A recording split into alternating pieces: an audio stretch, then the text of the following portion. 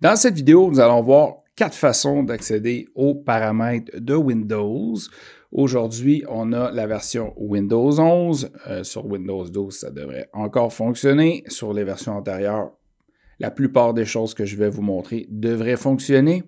Alors, on commence ça avec la première façon, mais je dois vous dire que la quatrième va vous laisser sans mots. Elle est incroyable. Donc, vous n'avez pas le choix de rester jusqu'à la fin pour voir. Ça s'appelle le God Mode, comme Dieu. Il faut, absolument que vous restiez pour voir ça. Donc, euh, la première façon, première façon, la plus simple, que tout le monde ne vous apprend rien, c'est d'utiliser le menu démarrer et d'ouvrir paramètres. Donc, vous avez par exemple le nouvel affichage des paramètres que je ne suis pas très habitué, pas très à l'aise encore.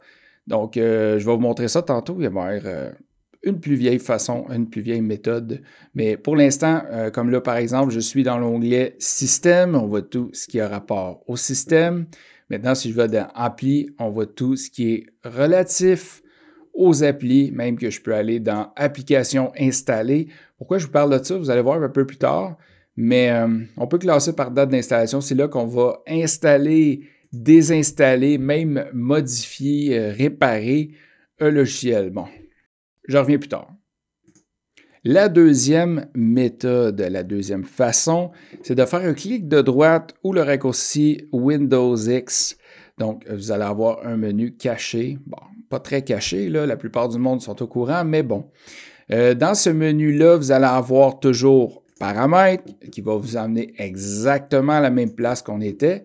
Cependant, il va y avoir d'autres raccourcis intéressants, comme par exemple application installée, on va pouvoir accéder directement sans faire plusieurs clics. Même que si vous avez des problèmes de réseau, vous allez pouvoir afficher les paramètres réseau directement de la nouvelle méthode, de la nouvelle façon de Microsoft que je n'aime pas, comme je vous ai dit tantôt. Il y a aussi euh, le gestionnaire des périphériques qu'on peut voir, qui est toujours pratique de voir si on a des bugs euh, au niveau euh, des périphériques. Donc voilà, c'est quand même intéressant de connaître cette euh, façon-là aussi.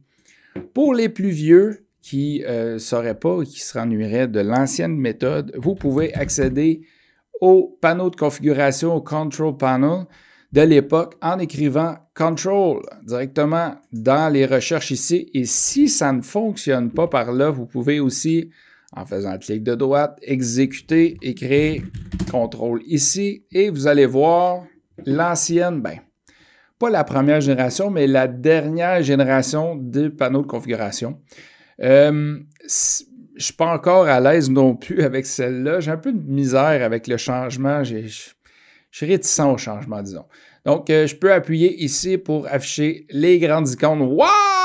Ça, c'est exactement ce que j'aime. C'est l'ancienne façon. Quoique, il y a certains, euh, il y a certains menus, je ne sais pas je peux appeler ça des menus, des liens euh, qui nous emmènent vers la nouvelle plateforme de paramètres. Mais il y a quand même certains anciens par exemple, si je vais sur Programme et fonctionnalités ici, je vais voir l'installation euh, de logiciels sur mon ordinateur. Je peux désinstaller, modifier, un peu comme qu'on a vu tantôt, mais de l'ancienne méthode avec un peu plus de détails, version, taille, etc.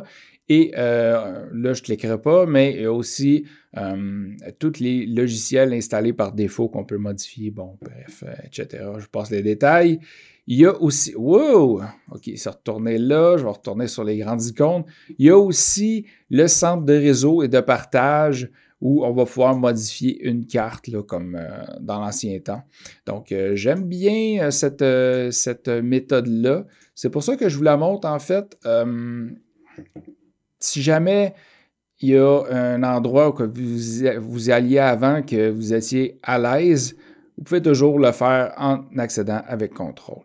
La quatrième méthode tant attendue, euh, ça s'appelle le God Mode pour pouvoir accéder, accéder à cette euh, feature, en, français, comment on dit ça? Cette fonctionnalité spéciale de Windows est cachée. Vous allez créer un dossier et vous allez euh, le nommer avec un nom particulier. Là, euh, le début, c'est pas grave. Vous pouvez, euh, exemple, appeler ça config. Ça n'a aucune importance. Vous allez faire un point et vous allez coller, euh, dans le fond, En anglais, on appelle ça une string, une chaîne de caractères en français. Une chaîne de caractères que je vais vous écrire dans la description. Vous allez coller ça après, tout de suite après euh, le, le, texte et le point que vous avez fait. Et quand vous allez le créer, ça va vous ouvrir le God mode où euh, ça va vous créer une icône spéciale comme vous voyez là, rien d'écrit. Donc, vous cliquez là-dessus et là, vous allez avoir tous les paramètres, les raccourcis inimaginables de Windows pour pouvoir passer des belles soirées euh, ennuyantes, à pas vous ennuyer finalement, comme moi. si vous avez aimé ou appris quelque chose, vous pouvez mettre un like et pourquoi pas vous abonner, c'est gratuit. Vous allez avoir plein de vidéos comme ceci de temps en temps. Alors, ne gênez-vous pas, c'est gratuit. Et des choses gratuites de nos jours sont très rares. Alors, je vous dis au revoir.